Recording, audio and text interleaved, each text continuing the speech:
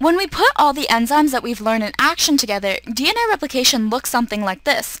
Helicase will begin separation of the parental DNA, single-strand binding protein stabilize the strands, and primase and polymerase will work their way down the strand to synthesize new DNA. To put all this detail into a bigger context, it's important to note that DNA strands aren't replicated from one end of the DNA to another in just one fell swoop. There are actually multiple sections of DNA being replicated at the same time within a strand. And as the DNA strands are separated by helicase, these, these bubble-like structures sort of form in the DNA, and they sort of, um, in a very simplified depiction, look like this. And so what's happening in one strand of replicating DNA, there will be several bubbles all along the strand, slowly growing as the enzymes work their way out in opposing directions. And the enzymes will start at the center, um, which is called the origin of replication and um, start moving out in opposite directions along both strands. Eventually, all the bubbles will all join, completely separating the entire DNA double helix as synthesis of the new complementary strands are being completed.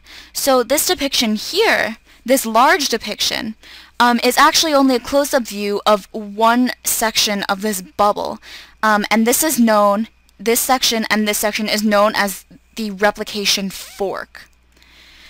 So DNA replication involves some rules. It's not just as simple as these enzymes working together to make DNA strands. One of the biggest rules is that DNA will always um, and only be synthesized from the 5' to the 3' end.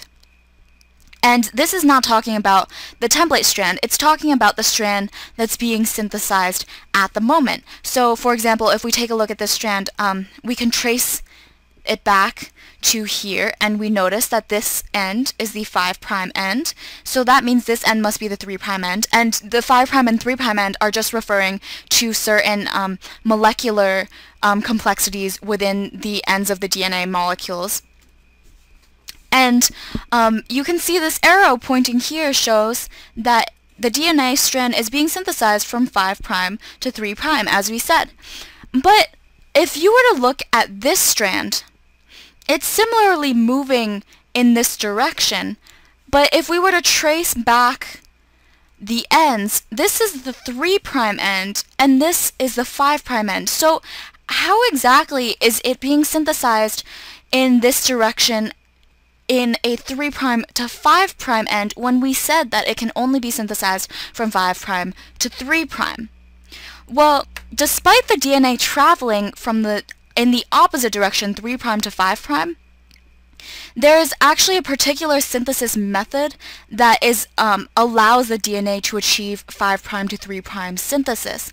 So the enzymes will synthesize DNA in sections from 5' to 3'. So for example, um, DNA polymerase will synthesize this section here, and then it'll skip over a section of DNA and start here and then work backwards. And so now notice when you're working backwards, you're going from the 5' prime to 3' prime end. And these little DNA fragments are called um, Okazaki fragments because they were discovered by a Japanese scientist of the same name. And so that means um, if you were to look at this bubble here for the overall picture, um, it let's label this is the 5 prime end, this is the 3 prime end, and this is the 3 prime end, the 5 prime end. Um, down here, it's being synthesized, the DNA is being synthesized smoothly because it's 5 prime to 3 prime. And up here, again, it's 5 prime to 3 prime, so it's synthesizing smoothly. But up here, it's sort of synthesized like this, in little chunks. And over here, the same, it's being synthesized like this in little chunks. The strand that's synthesized through Okazaki fragments is known as the lagging strand um, because it's always slightly slower than the other strand, lagging spelled like this. And the other strand is called the leading strand, which smoothly synthesizes synthesizes from the 5' to the 3'.